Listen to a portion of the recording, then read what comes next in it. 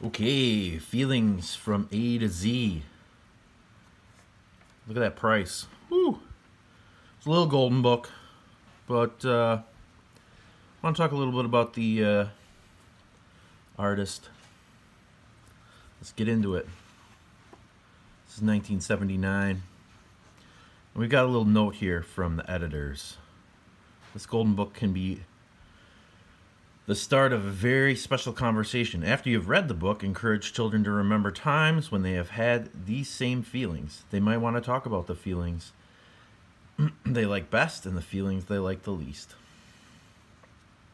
Um, I don't know anything about Pat, the author, but um, the illustrator, Rod Ruth, is. Um, a fairly uh, uh, renowned illustrator.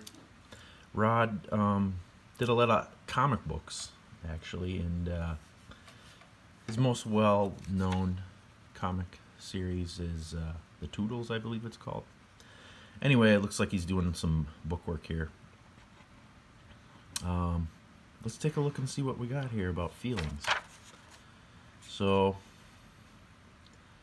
Obviously, like you saw in that note at the beginning, which is always good. How can you? How can parents discuss topics of these books? Um, but we're starting here. Very simple, like kind of greeting card sort of illustrations. But I still like them. It definitely captures the time. And we got the alphabet going. So they're trying to layer the educational aspects of this. A is for angry. B is for bashful. Looks like it's Valentine's Day.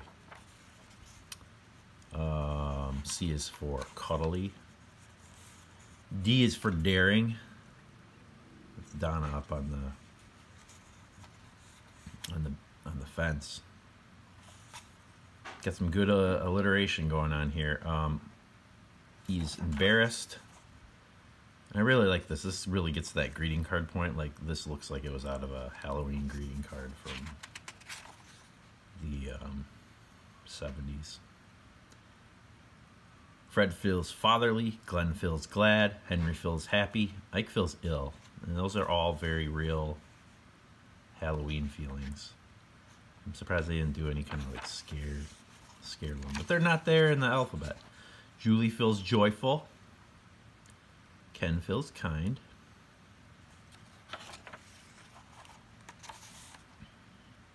Linda feels loving.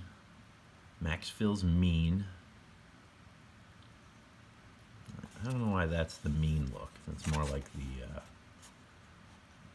I don't know what to do. Norman feels noisy. Ding-a-ling-a-dang.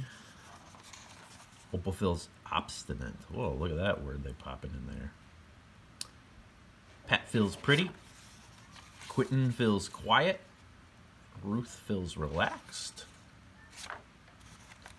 now we're at sack race. Good old sack races. I don't even know if they do sack races anymore. Sue feels sad. Tom feels tired. You uncomfortable. Uta is that, maybe? I don't know. She stubbed her toe. And Vera feels victorious. Wanda feels worried. Xavier feels excited. Didn't have much to do there except for just go with the word with the X in the word. Love this though, these shadows on, on the figures. Yolanda feels yelly, and Zelda feels zippy. Anytime you can get somebody in there named Zelda, I'm cool with that. Children with feelings from A to Z are just growing up like you and me. Real simple stuff, but I think it's covered really clearly.